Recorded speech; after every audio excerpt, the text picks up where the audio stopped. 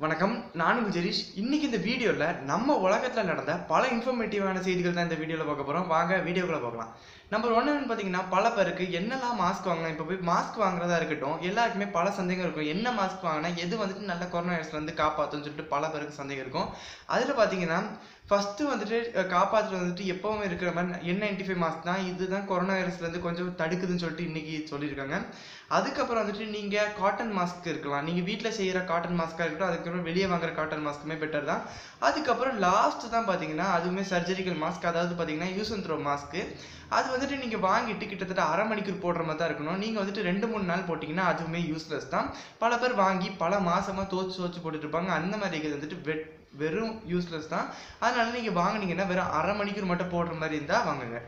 அதுக்கப்புறம் பார்த்தீங்கன்னா இந்தியாவுக்கு சென்னைக்குள்ள பிரச்சனைகள் வந்து பார்த்தீங்கன்னா மொபைல் மட்டும் இல்லை ஐபிஎல்லுமே பெரிய விதத்தில் அடி வாங்கியிருந்து பார்த்தீங்கன்னா விவோ வந்துட்டு ஸ்பான்சர் பண்ணக்கூடாதுன்னு சொல்லி இந்தியா கவர்மெண்ட் அறிவிப்பு கொடுத்துருந்து அதுக்கப்புறம் பார்த்தீங்கன்னா சரி இருக்கட்டு இந்தியா கவர்மெண்ட்டே அறிவிப்பு கொடுத்துட்டு அப்போ ஐபிஎல்லுக்கு டைட்டில் ஸ்பான்சர் யார் பண்ணுவான்னு சொல்லிட்டு பல பேருக்கு சந்தேகமாக இருந்திருக்கும்.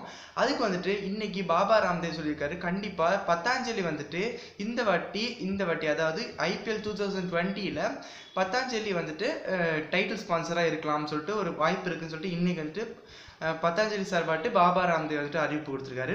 அதுக்கப்புறம் பார்த்தீங்கன்னா நம்மளோட ஒரு துக்கமான செய்தி என்னன்னு பார்த்தீங்கன்னா நம்மளை கொ- நம்ம நாட்டில் அதாவது நம்ம இந்தியாவில் கொரோனா வைரஸ் வந்துட்டு ரொம்ப ஸ்பீடாக பரவறதுனால பல பேருக்கு வேலை இழப்பு இருந்துச்சு. அதே மாதிரி வேலை இழப்பு இருந்துச்சுன்னா வீட்டில் இருக்க பய பயமார்கள் பிள்ளைகளை படிக்க வைக்க முடியாது.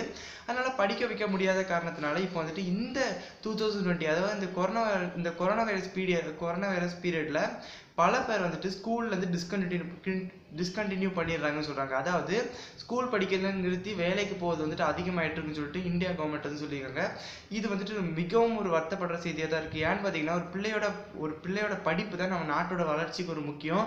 ஏன்னா பிள்ளைகளை ப- படிக்க விடாமல் வேலைக்கு வந்துட்டு அப்பா அம்மார்கள் எடுத்தாங்கன்னா இது வந்துட்டு மிக குற்றம் தான் நான் சொல்லுவேன் அதுக்கப்புறம் பார்த்தீங்கன்னா நம்மளை பாகிஸ்தான் வந்துட்டு ஆப்கானிஸ்தானில் ஆப்கானிஸ்தானில் பாகிஸ்தானோட ஆர்மி பல டெரரிஸ்ட்டை உருவாக்கிட்டு இருக்காங்க டெரரிசம் வந்துட்டு இருக்கிறதே ரொம்ப தப்பு. இருந்தாலுமே டெரரிஸ்ட்டை வந்துட்டு உருவாக்குறது வந்துட்டு ரொம்ப ரொம்ப தப்பு. ஏன் இருந்தாலும் பாகிஸ்தானோட மிலிட்ரியே ஆப்கானிஸ்தானில் டெரரிஸ்ட் உருவாக்குறாங்கன்னு சொல்கிறது வந்துட்டு இது ரொம்ப அசிங்கமாக இருக்குது சொல்லதுக்கு. சரி இருக்கட்டு. இந்த டெரரிஸ்ட்லாம் எதுக்காக இவங்க தயாரிக்கிறாங்க உருவாக்குறாங்கன்னு சொல்லி பார்த்தீங்கன்னா இது வந்துட்டு ஜம்மு காஷ்மீர் வந்துட்டு அவங்க கைக்குள்ளே கொண்டு வரதுக்கு தான் இந்த நம்ம அதாவது நம்ம இந்தியாவை அடிக்கிறதுக்காக பாகிஸ்தான் வந்துட்டு டெரரிஸ்ட் வந்துட்டு உருவாக்கிட்டு இருக்காங்க. அதுக்கப்புறம் என்னன்னு பார்த்தீங்கன்னா நேற்றுக்கு நைட்டு பார்த்தீங்கன்னா லடாக்கில் வந்துட்டு நம்ம இப்போ வாங்கணும் பார்த்தீங்கன்னா அந்த ரஃபேல் வச்சுட்டு போர் பயிற்சி எடுத்துருந்துருக்காங்க. இருந்திருக்காங்க இதுக்கு வந்துட்டு சைனா வந்துட்டு கேள்வி எடுப்பிருந்தாங்க எதுக்காக நீங்கள் இப்படி பண்ணியிருக்கீங்கன்னு. நாங்கள் வந்துட்டு நீங்கள் ஏதாவது அடுத்த அடுத்த செக் எதை வச்சீங்கன்னா நாங்கள் வந்துட்டு தாக்குதலுக்கு தயாராகிட்டு இருக்கோம் நீங்கள் ஏதாவது நீங்கள் எந்த நிமிஷத்தில் என்ன பண்ணுவீங்கன்னு எங்களுக்கு தெரியாது.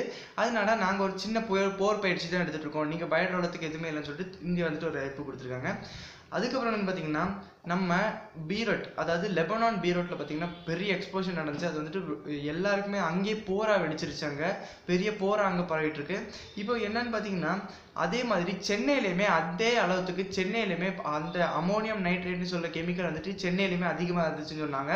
அதனால வந்து இந்தியன் கவர்மெண்ட் வந்துட்டு ரொம்ப பயந்தாங்க. ஒருவேளை இந்தியாவிலுமே இந்த மாதிரி ஒரு பெரிய வெடிப்பு வந்துருச்சுன்னா என்ன பண்ணுறோம் என்ன பண்ணுறதுக்கு அப்படின்னு சொல்லிட்டு யோசிச்சாங்க. அந்த காரணத்தினால என்ன சொன்னாங்கன்னு பார்த்தீங்கன்னா சென்னையில் இருக்க அமோனியம் நைட்ரேட்டில் கொஞ்சம் அளவை ஹைதராபாத்துக்கு அனுப்பி விட்ருங்க அப்படின்னு சொல்லிட்டு சொல்லியிருந்தாங்க. அந்த விதமாட்டு நேத்தைக்கு முந்தானத்தை அனுப்ப ஆரம்பிச்சிட்டாங்க.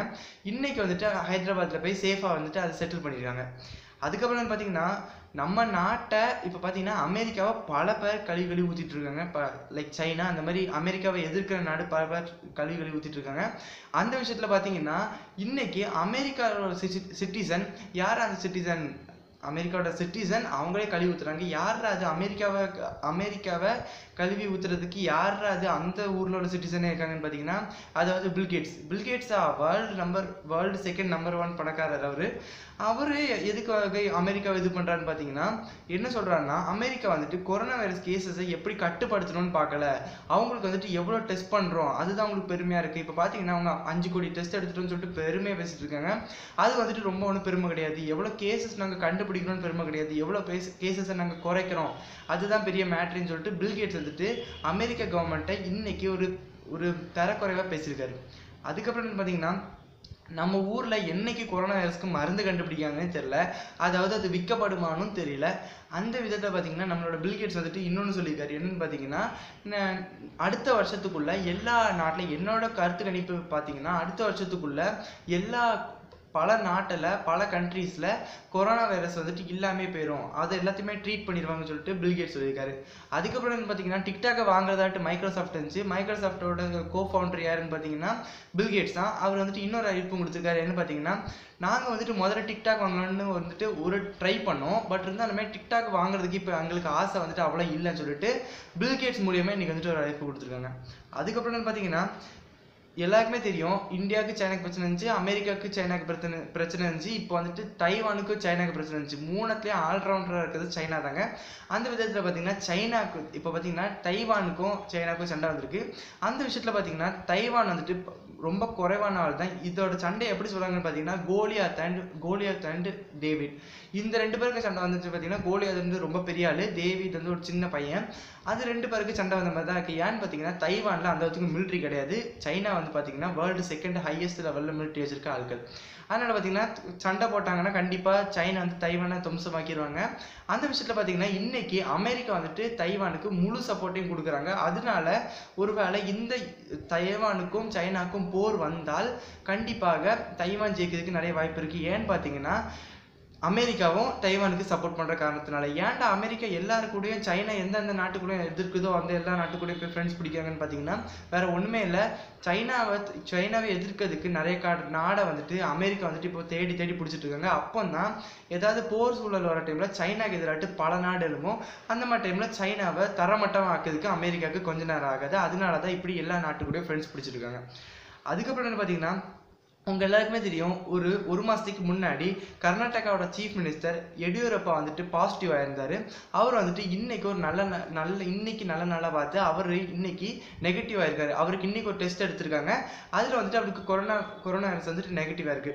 அதுக்கப்புறம் என்ன பார்த்தீங்கன்னா கொர நம்மளுக்கு கேரளாவில் வந்துட்டு எல்லாருக்குமே தெரியும் மூணு மூணாறில் ஒன்று நிலச்சரிவு நடந்துச்சு அது கொடூரமான விஷயம் ஒன்று நடந்துச்சு. அதில் பார்த்தீங்கன்னா பல பேர் இறந்துருந்தாங்க. இன்னைக்கு வந்துட்டு இது வரைக்கும் நாற்பத்தி ஒன்பது பேர் நாங்கள் சடலங்கள் எடுத்திருக்கோம்னு சொல்லியிருக்காங்க. இது வரைக்கும் நாற்பத்தி ஒன்பது பேர் இறந்துருக்காங்க. இன்னும் பல சடலங்கள் அந்த ஊருக்குள்ளே இருக்குது. நாங்கள் அதை எடுத்துகிட்டே இருக்கோம்னு சொல்லிட்டு சொல்லியிருக்காங்க.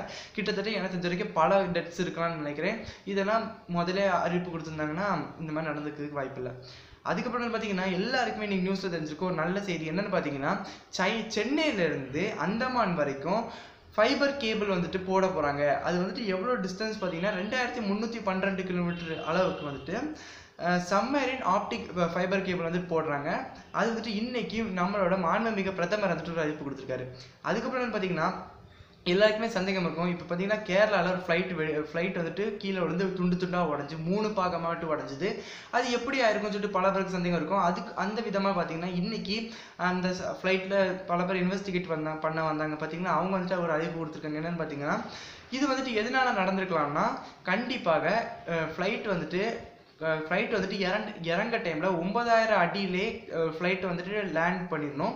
அந்த லேண்ட் பண்ணுறது வந்துட்டு ஒன்பதாயிரம் அடியில் லேண்ட் பண்ணதுக்கு பதிலாக இந்த இந்த பைலட் வந்துட்டு மூணாயிரம் அடியில் லேண்ட் பண்ண காரணத்தினால மட்டும்தான் பிரேக் அடிக்காமல் இது வந்துட்டு சரிக்கிட்டு போய் அந்த இடத்துல போய் விழுந்து துண்டு துண்டாக உடஞ்சிருக்குன்னு சொல்லிட்டு அவங்க வந்துட்டு ஒரு அழைப்பு கொடுத்துருக்காங்க. இன்னும் பல இது கண்டுபிடிச்சிட்டு இருக்கோம். இன்னும் கூடிய சீக்கிரம் கிடச்சிடணும்னு அவங்க சொல்லியிருக்காங்க. அதுக்கப்புறம் எல்லாருக்குமே தெரிஞ்சிருக்கும். எல்லாருக்குமே தெரிஞ்சிருக்க பல பேருக்கு தெரிஞ்சிருக்காது. என்னன்னு பார்த்தீங்கன்னா ஃபார்மர் பிரசிடென்ட் பிரணாப் முகர்ஜி வந்துட்டு இன்னைக்கு கொரோனா வைரஸ்க்கு பாசிட்டிவாக இருக்காரு. அதுக்கப்புறம் என்ன பார்த்தீங்கன்னா தமிழ்நாட்டில் இன்னைக்கு காலையில் டென்த்துக்கு ரிசல்ட் கொடுத்தாங்க.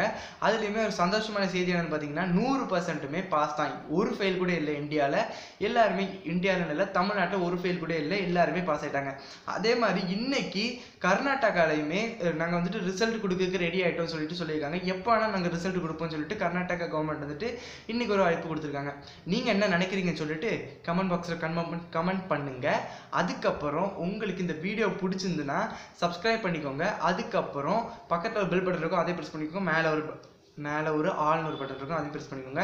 அதுக்கப்புறம் என்னோட வீடியோ வந்துட்டு உங்களுக்கு ரொம்ப பிடிச்சிட்டே இருந்துச்சுன்னா அதனால நீங்கள் வந்துட்டு ஒரு லைக் கொடுத்துக்கோங்க. நன்றி.